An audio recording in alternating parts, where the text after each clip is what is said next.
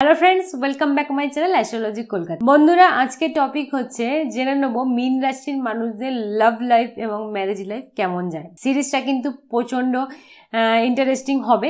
এর আগে আমি কুম্ভ রাশি নিয়ে আলোচনা করেছি। যদি এখনও না দেখে থাকেন, আমি কার্ডের লিঙ্ক দিয়ে দিচ্ছি, অতি অবশ্যই দেখে নিন।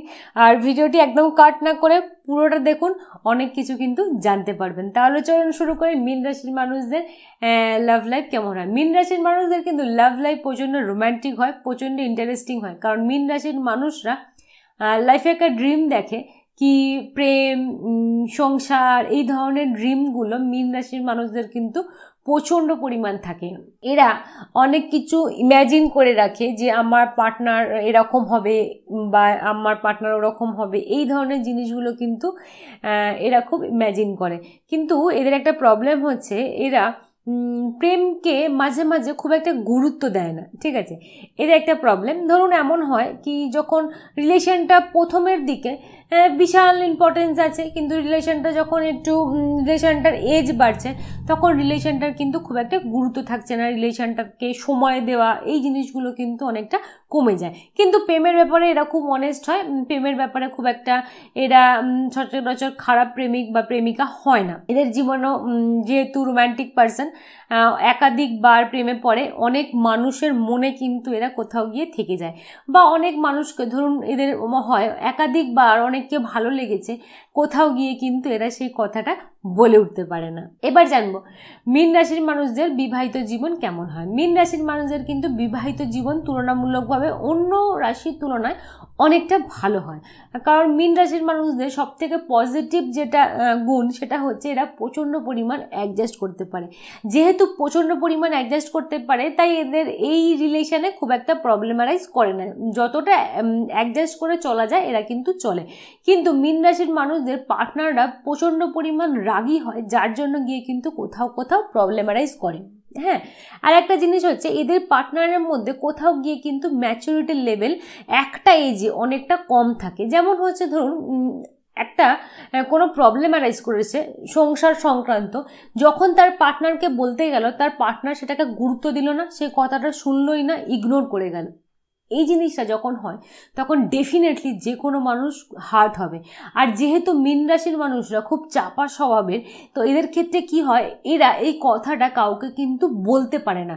তার জন্য বেশি পরিমাণ হার্ট হয়। আর একটা কারণ হচ্ছে, মিন রাশির মানুষদের পার্টনাররা যেহেতু রাগী হয় তো এদের ক্ষেত্রে যেটা হয় প্রচণ্ড রাগি একটা মানুষ, রেগে গিয়ে সেই ভাঙচুর করছে, যা তা কথা বলে ফেলছে এই ধরনের টেন্ডেন্সি যেহেতু থাকে, সেই কারণে একটু একটু প্রবলেম অ্যারাইজ করে। এদের পার্টনাররা কিন্তু প্রচণ্ড পরিমাণ এডুকেটেড হয়, প্রচণ্ড পরিমাণ ইন্টেলিজেন্ট হয়, এই ধরনের মানুষ কিন্তু হয়, কিন্তু তা সত্ত্বেও কম বেশি প্রবলেম তো যে কোনো মানুষের মধ্যেই থাকে। এদের আর একটা প্রবলেম হচ্ছে, এরা যেহেতু প্রচণ্ড পরিমাণ মানিয়ে নেওয়ার ক্ষমতা রাখে, সেহেতু কি বলুন তো, কারোর দোষগুলো এরা আঙুল দিয়ে বুঝিয়ে দিতে পারে না যে এটা এই দোষ, এই ভুলটা করেছ, এই ভুলটা করো না। এই জিনিসটা কিন্তু এরা বলতে পারে না, যার ফলেও কিন্তু এদের লাইফে প্রবলেম অ্যারাইজ করে। আমরা যতই কাউকে ভালোবাসি, কিন্তু আমাদের উচিত সবার দোষগুলোকে বুঝিয়ে দেওয়া যাতে তার সুবিধা হয় নিজেকে ঠিক করে নেওয়া।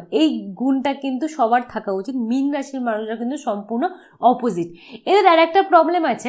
এদের ধরুন কোনো প্রবলেম হয়েছে, কাউকে ধরুন শেয়ার করতে, যেটা এদের টেন্ডেন্সি হয়, এরা শেয়ার করতে পারে না। কেন পারে না বলুন তো? মানে যাকে বলব সে কি ভাববে বা কি বলবে, আমার সম্বন্ধে কি ধারণা তৈরি হবে, এই ধরনের টেন্ডেন্সি কিন্তু মিন রাশির মানুষদের থাকে। এর জন্য কিন্তু এদের ম্যারেজ লাইফ অনেকটা কোথাও গিয়ে হ্যাম্পার হয়, বলা যেতে পারে। এদের আর একটা কারণে ম্যারেজ লাইফ হ্যাম্পার হয়, যেটা হচ্ছে এরা ধরুন খুব সুন্দর কথা বলে লোকেরা ইমপ্রেস করতে পারে। ওকে ধরুন এরা কারোর সাথে একটা কথা বলছে সেখানে মনে এদের কোনো খাদ নেই, একদম মানে ভালো মনে অন্য একজনের সাথে কথা বলছে। তো তার লাইফ পার্টনার ধরে নিল কি এই মানুষটা হয়তো আমার সাথে চিট করছে বা তার সাথে কোনো অ্যাফেয়ার আছে। এই যে এক্সট্রা কথা বলার টেন্ডেন্সি বা ভালো কথা বলার টেন্ডেন্সি মানুষ যে ইমপ্রেস হচ্ছে, তাতেও কিন্তু এদের পার্টনারের কোথাও গিয়ে প্রবলেম অ্যারাইজ করে। এই জন্য কিন্তু এদের ম্যারেজ লাইফ এই এই জায়গাগুলো কিন্তু প্রবলেম হয়। আমি প্রবলেম হয় বলছি মানে এই কারণে কি আপনাদের এই জায়গাগুলো একটু অ্যালার্ট হয়ে চলতে হবে। আর একটা কারণে প্রবলেম হয়, যেটা হচ্ছে এদের ফ্যামিলির দিক থেকে এরা খুব সাফার করে।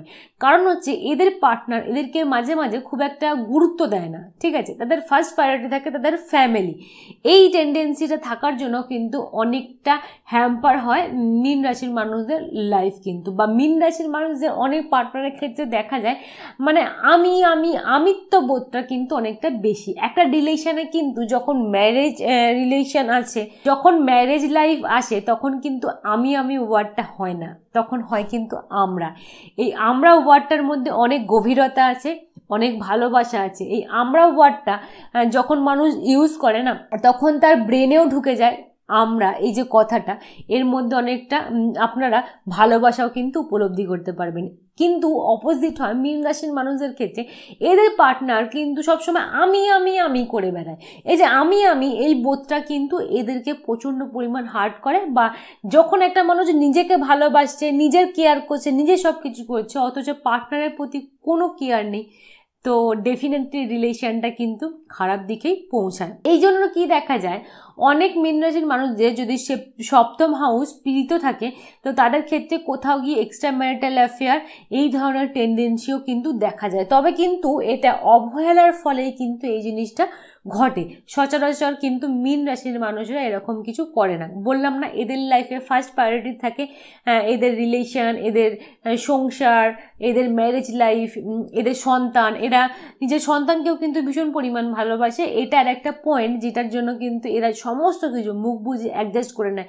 অনেকে বলে না যে, আমার ছেলে আছে বা মেয়ে আছে, আমি রিলেশনটা থেকে বেরিয়ে গেলে আমার ছেলে মেয়েটার কী হবে? এরকম মানুষের সংখ্যা কিন্তু অনেক। কিন্তু অনেকে আবার বলে, কি যা হবে বুঝে নেব, যা হবে দেখে নেব। কিন্তু মীন রাশির মানুষরা এই জিনিসটা কিন্তু বলতে পারে না। তাহলে বন্ধুরা মীন রাশির লাভ লাইফ এবং ম্যারেজ লাইফ কেমন হয় না হয় পুরো বিস্তারে আলোচনা করলাম। ভিডিওটি কেমন লাগল আমাকে অতি অবশ্যই জানাবেন। ভিডিওটি ভালো লাগলে চ্যানেলটিকে সাবস্ক্রাইব করবেন এবং ভিডিওটি শেয়ার করবেন। তাহলে বন্ধুরা, টাটা, দেখা হবে অন্য ভিডিওতে।